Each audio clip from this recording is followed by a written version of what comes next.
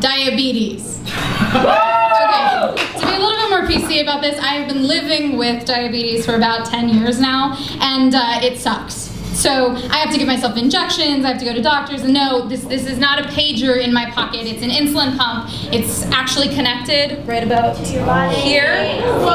And it's delivering insulin into my system 24 hours a day, 7 days a week, 365 days a year. And that is because in 1922, doctors discovered that by administering insulin to a person with diabetes, they could drop elevated and fatal blood sugar levels and prolong their life from a matter of months to a couple of years. And here's the crazy thing.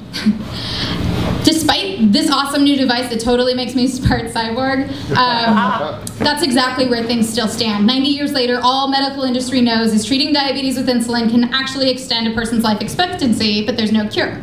So now I can talk about how this works all the time, but what you need to know is that the better you get at titrating the right amount of insulin, the longer you live, the better your quality of life, and the more you push back things like dialysis, blindness, etc. Now, I would have died about nine years ago had I not had insulin, and I gratefully hope to live another 50 plus with it. But here's the downside of using insulin. It's a fucking tightrope walk. It is, if I take too much, and we're talking about like milliliters here, I could die in anywhere from 15 to 60 minutes, no joke. And this is because you actually need a certain level of sugar in your bloodstream for your brain to continue functioning. So this shit will kill you and fast. And that is why I always carry in my purse these. Um, it used to actually be lifesavers, which I found blissfully ironic because candy sugar bombs actually really, really did save my life on numerous occasions. But after like the 5,000th lifesaver, I needed a change, so now it's Starburst. So, okay, so last Tuesday I'm driving home from work down 6th Street and uh, starting to feel off, so I reach into my purse and I find only two individually wrapped tiny little Starbursts left, and that is not enough to fend off what I am now starting to feel coming, and so I quickly ingest those and turn left up Highland Avenue in search of a place to purchase more Starburst. Now, had I turned right at that moment, I was one block away from 7-Eleven, a potentially life-saving haven of fill of sugary snacks, and as a person living with diabetes in Los Angeles, I know where every fucking one of them is. but instead, my hypoglycemia has already killed off enough brain cells so that uh, I think that going left into bumper to bumper traffic on Highland is the ideal route to save my life. And now as my tongue is becoming numb and my arms are starting to tingle, I realize that I'm stuck, blocked on all sides by rows and rows of cars and rows and rows of mansions with enormous front lawns. And so I'm thinking, okay, why didn't I turn right? It was right there. And should I stay on Highland? Should I make the next right? Should I just get out of my car and ask somebody for if they had a granola bar on their fucking dashboard? I don't, I don't know what to do. And clearly I am here tonight. So you can deduce that I made it to the 76 gas station on Highland and Melrose to buy and ingest two candy bars and half a bottle of Gatorade just in the nick of time. But those last nine gridlock blocks were fucking terrifying. And so, I am here to tell you that the best offense is a great offense. okay, so when I'm preparing for this literally about my fellow tank combatant and I, Terry, are discussing a passage from Niccolo Machiavelli's The Prince, which encourages its reader to embrace one's enemy as an offensive maneuver. This 500-year-old 80-page treatise remains one of the most influential political essays in Western literature and a go-to for poli-sci majors in, interested in the art of war and politics.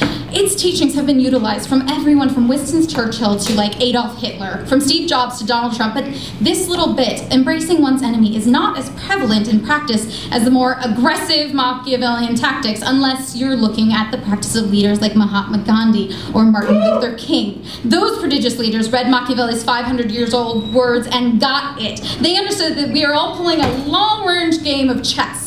We're playing this game through aggressive jumps up and over uh, the knight or like a single, well-timed single step forward with a pawn, and we're all trying to get ahead, improve our station, and stay alive. And this is why Gandhi sat down to tea with British colonizers who had invaded his homeland, and Martin Luther King organized non-violent protest in response to egregious atrocities blacks were enduring in this country. These were not defensive maneuvers. These men understood that in order to succeed and in turn improve and prolong the lives of millions, they must work offensively, embracing their enemies and enacting short and long-range tactics that could be perceived prismatically as persuasively compassionate or strategically deceptive or plain old welcome open arms.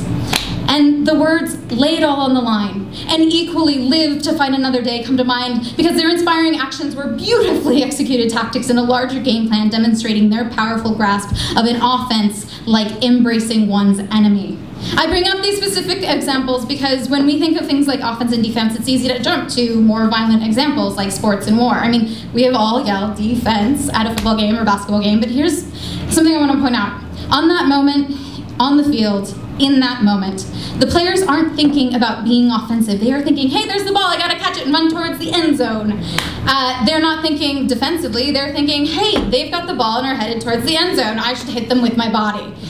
These players are in the moment, reacting to the current scenario and pulling from a set of predetermined and previously calculated actions as part of a larger strategy crafted by their coach. And that strategy was set in motion back at training camp months ago and is now finally coming to fruition in this beautifully, this beautiful moment of preparation meeting opportunity. So whether they have the ball or not, they are on the offense and have been since day one of training. Players, soldiers, politicians, CEOs, they are all on the offense, responding to what's in front of them in order to move forward towards a predetermined goal. Playing defense doesn't actually exist. Yeah, that's just a term we created to define the actions of those who don't have the ball or appear to be losing. And so often, we link the idea of offense or being offensive with being aggressive, but it's really not. It's about being prepared to act, being two steps ahead, leading, being out in front of something, prepared for whatever life throws us. And this is why I now carry around these with me. this is me being on the offense, and more specifically, embracing my enemy. And trust me, I spent years refusing this fucking enemy, pretending my disease was not a big deal and ending up in life-threatening scenarios just like last Tuesday, but now that is the exception, not the rule. And it was a great reminder that I am still playing this game called life and embracing my disease, and so that I can play the long game. If I want to live a full life, I have to choose my choices and be on the offense and take my insulin and go to my doctor's appointments and carry Starburst everywhere, and it's exhausting. But I refuse to let this thing defeat me ever.